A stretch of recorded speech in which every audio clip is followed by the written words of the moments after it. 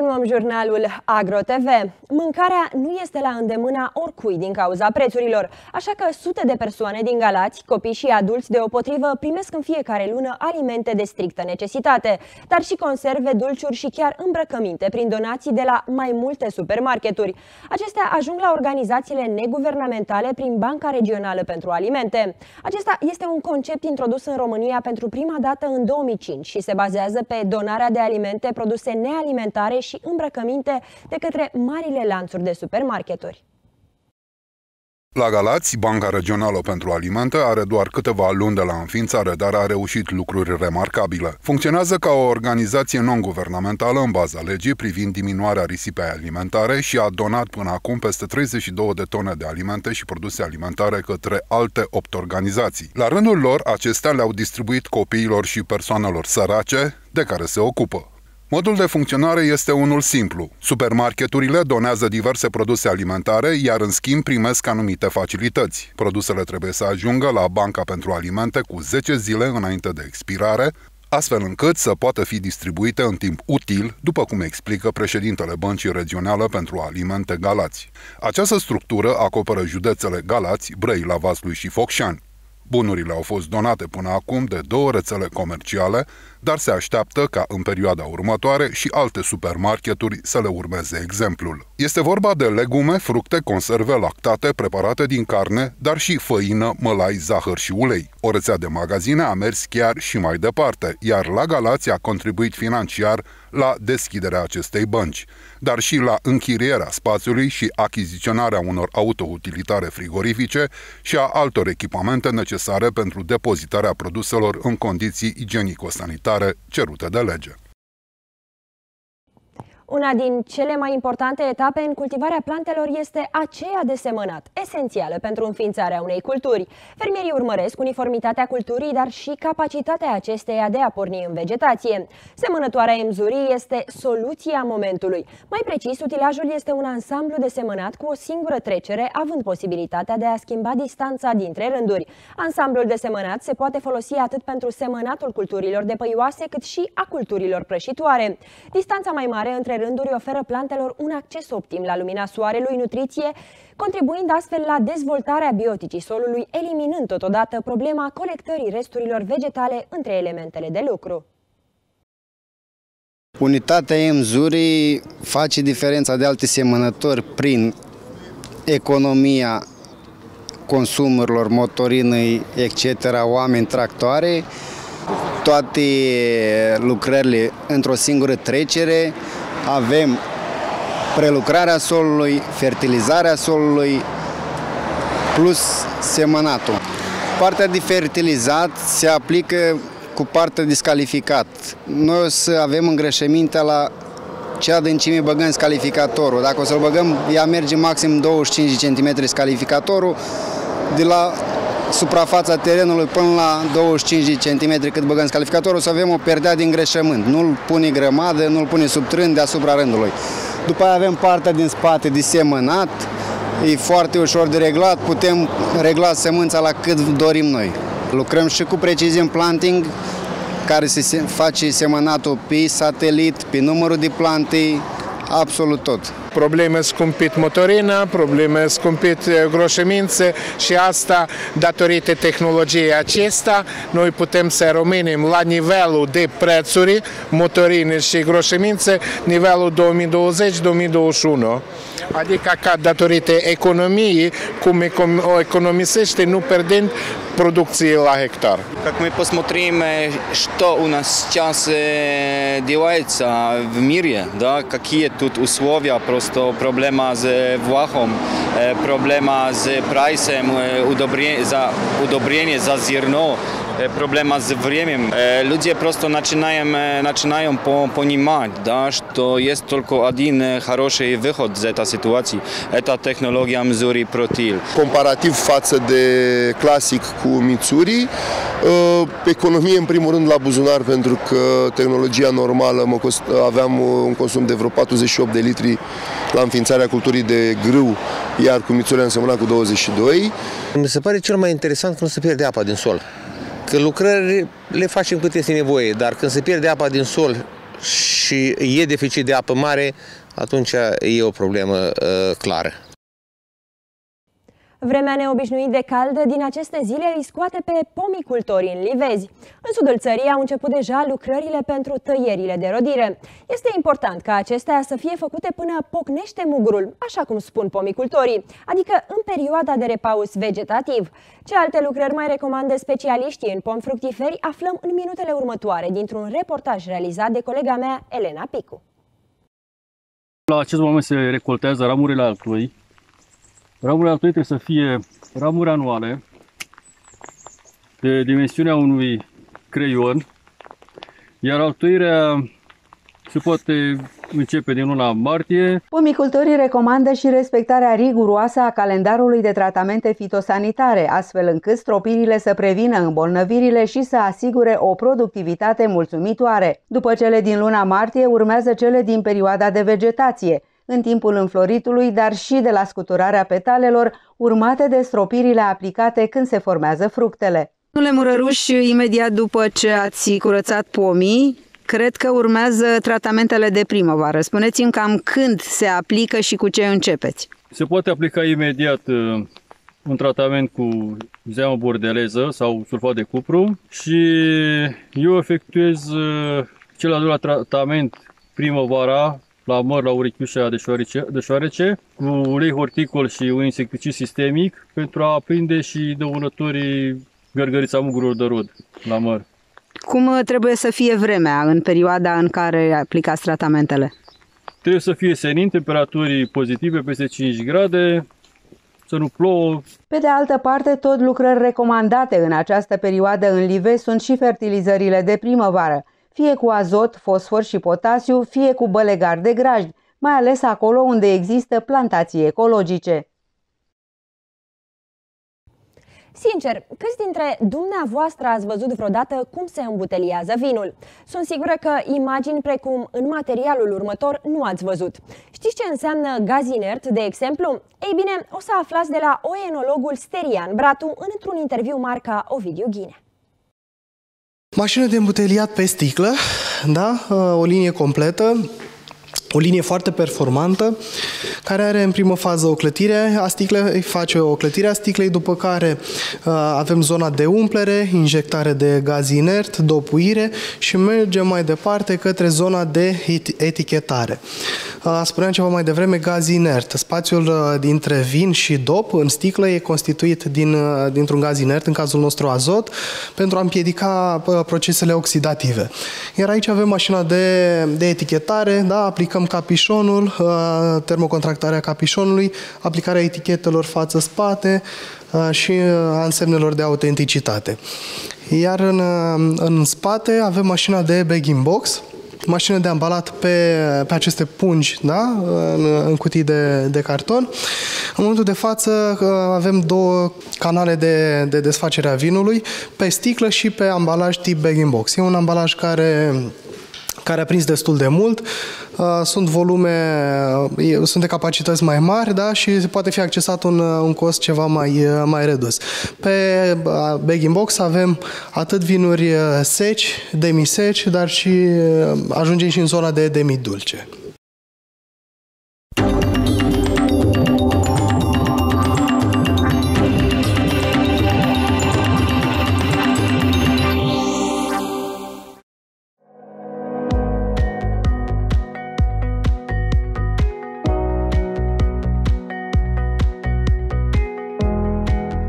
Încet, încet vine primăvara. Trebuie să ne pregătim și livada pentru noul sezon horticol. Tratamentele sau stropirile, așa cum sunt ele cunoscute de către horticultori, au un rol important în a reduce riscul de îmbolnăviri al pomilor, dar și atacul dăunătorilor pentru acest sezon. Pachetul Agri-tratament de iarnă în pomicultură este recomandat pentru livezile de pom fructiferi, viță de vie, arbuși fructiferi și, de ce nu, chiar și pentru trandafiri. Acest pachet conține trei produse, fungicidul cu ferol, insecticidul ulei horticol STU Oil și insecticidul Mospilan.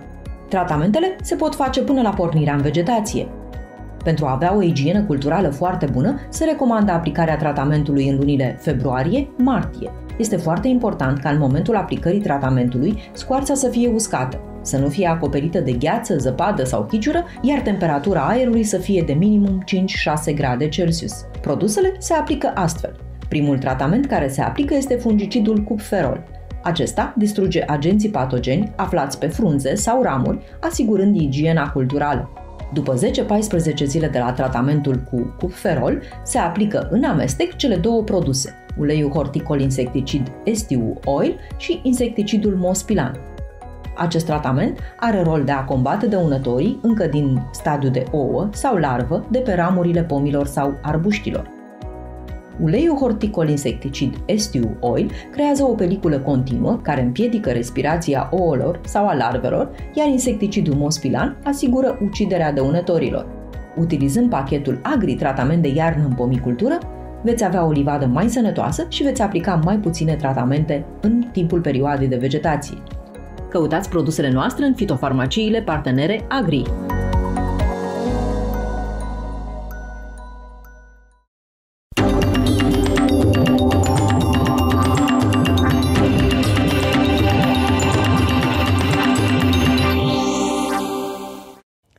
Dacă agricultura românească a înregistrat anul trecut producții bune, acum fermierii se confruntă cu prețurile uriașe din toate sectoarele, dar și cu lipsa unor măsuri protecționiste din partea statului. La prețurile actuale, mulți dintre ei sunt nevoiți să scoată de trei ori mai mulți bani din buzunar față de anul agricol precedent pentru a face lucrările necesare. Cu aceleași probleme grave se confruntă și sectorul zootehnic, care este complet dependent de prețul utilităților. Au prins un boom fac ce vor cu noi, pentru că la noi e junglă în România, nimeni nu apără producătorul și consumatorul, îi, îi protejează pe, pe acești speculanți, până la urmă eu le spun uh, cei care ne vând energia, ca cei care ne vând inputurile, îngrășăminte așa mai departe, că nu sunt. Da, într-adevăr, s-a scumpit uh, gazul, dar încă o dată repet, de ce de atâtea ori? Da, s-a a crescut prețul la îngrășăminte, dar totuși, păi vedeți, s-a, s-a, s-a, a crescut de 300% prețul la nitrocalcar. Adică se știa, dar, dar știind ce se întâmplă, din punctul meu de vedere, totul e speculativ de moment, pentru că, repet, ei știu de ce avem nevoie, însă o tehnie de energie electrică nu pot să faci și vorbesc de zootehnie, dar urmează uh, următorii pași de uh, procesare de, până la uh, uh, comercializare mai, mai e și procesatorii acela lucruri se întâmplă.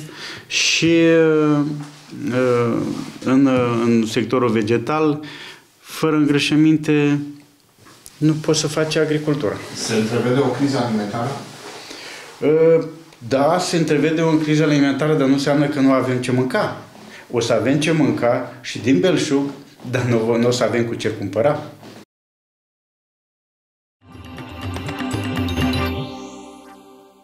Cu Seed Sprint ai prima poziție la start. Acizi humici și fosfor solubil pentru o răsărire explozivă și uniformă. Contactează acum un reprezentant Chemark Rom.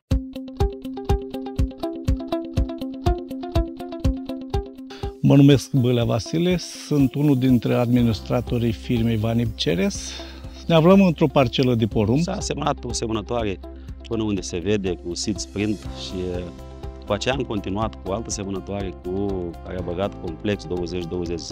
Diferența de talii, ați văzut la sistemul radicular foarte dezvoltat, inclusiv și culoarea, dacă ne uităm, este mult mai verde decât în partea unde nu s-a aplicat sprint.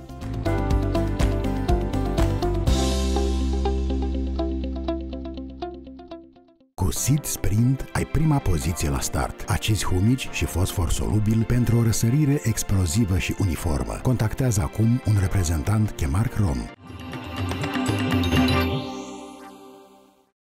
Mistreții au intrat în vizorul crescătorilor de porci din Franța care cer măsuri urgente pentru a stopa înmulțirea acestora. Fermierii susțin că oricât ar fi de ecologiști și apărătorii ai biodiversității nu pot sta cu brațele încrucișate când văd cum mistreții răspândesc pesta porcină africană. Așa că autoritățile ar face bine să ia rapid măsuri, spun cei din Federația Națională a Porcinelor, solicitând acțiuni împotriva poliferării mistreților pentru a preveni transmiterea unor boli la animalele de fermă. În Franța, fermierii cer sprijin din partea Ministerului Agriculturii și Federației Naționale de Vânătoare să acționeze rapid împotriva înmulțirii mistreților în Franța, în timp ce boala Ojeschi este identificată în departamentul Oaz și pesta porcină a ajuns în Italia în apropiere de granița cu Franța. Mistreții care roiesc cu milioanele pe tot teritoriul sunt un pericol care trebuie eliminat prin măsuri de reglementare drastice și imediate, la scară europeană, susțin reprezentanții crescătorilor de porci. Ei afirmă că nu este vorba despre despre pagubele produse vânatului, ci despre chestiuni de biosecuritate și despre viitorul lor ca afaceri, așa că fermierii solicită o inițiativă puternică și imediată din partea Ministerului Agriculturii și a Federației Naționale de Vânătoare cu privire la populația de mistreți. Și asta spun ei pentru că mistreții sunt un vector periculos pentru industria porcilor. Dincolo de pesta porcină africană, fermierii amintesc și de un alt necaz. În pădurile din Oaz și Ile-de-France, mistreți purtători de boala Ojeschi, care nu este transmisibilă la om, au provocat recent moartea mai multor câini. Dar poate distruge o crescătorie de porci și pierderile ar fi imense, se mai plâng crescătorii din Franța.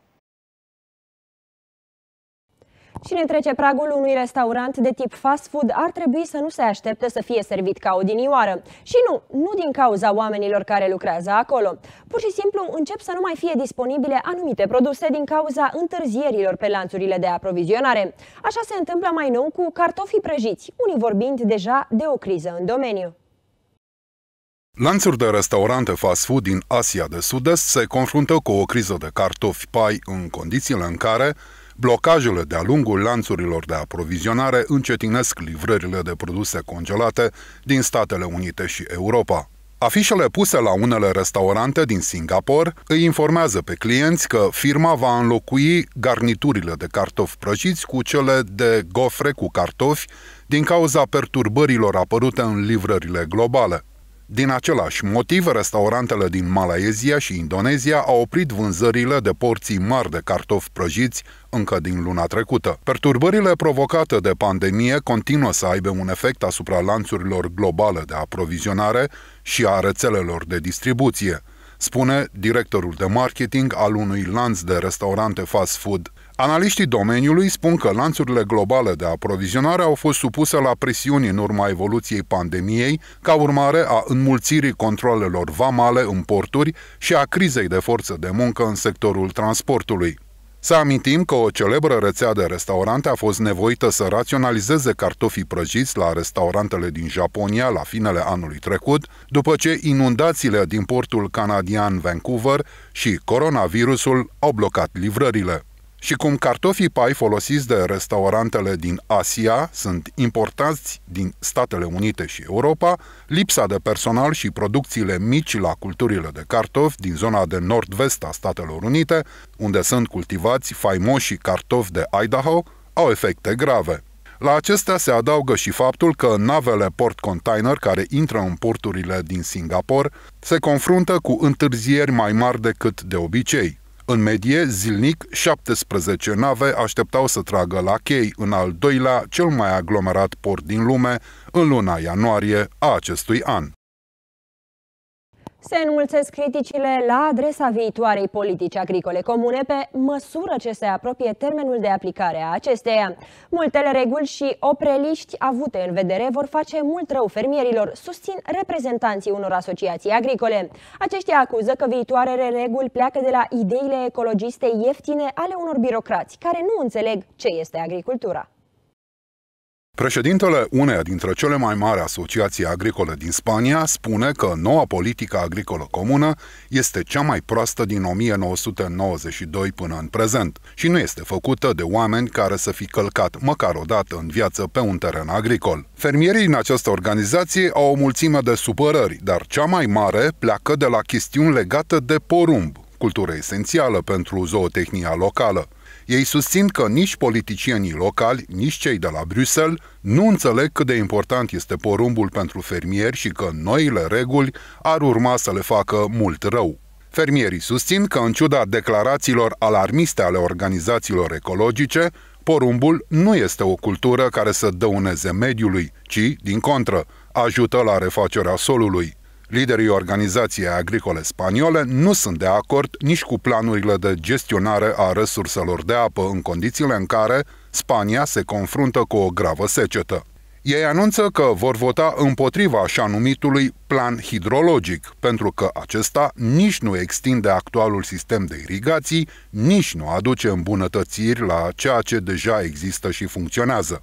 Și peste toate, mai acuză fermierii, politicienii, indiferent de unde sunt ei, sunt rupți de realitate și nu înțeleg deloc problemele agriculturii. Oamenii sunt nemulțumiți și din cauza creșterii alarmante a prețurilor de producție, calculând că electricitatea și combustibilii au prețuri de trei ori mai mari decât acum un an.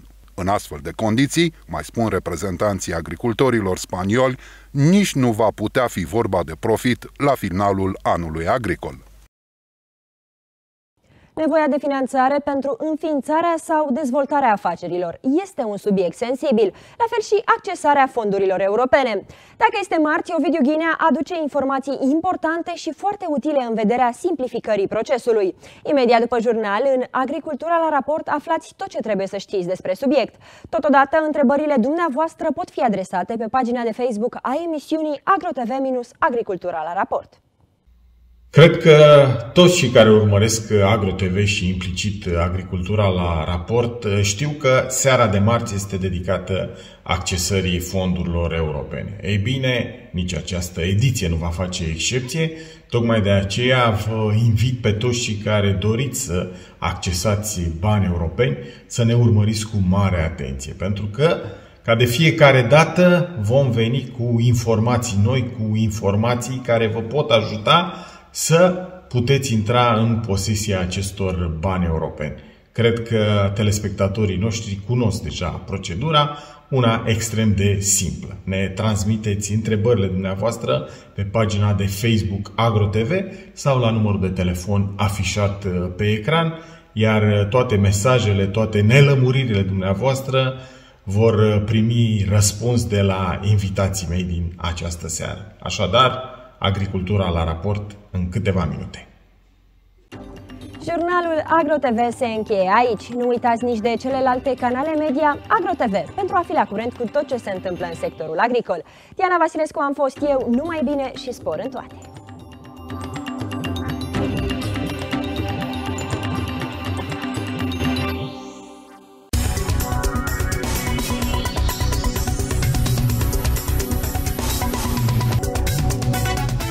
La noapte, cerul va fi variabil la începutul nopții în sud-est, dar se va înora treptat spre orele dimineții, când probabilitatea pentru ceață va fi ridicată.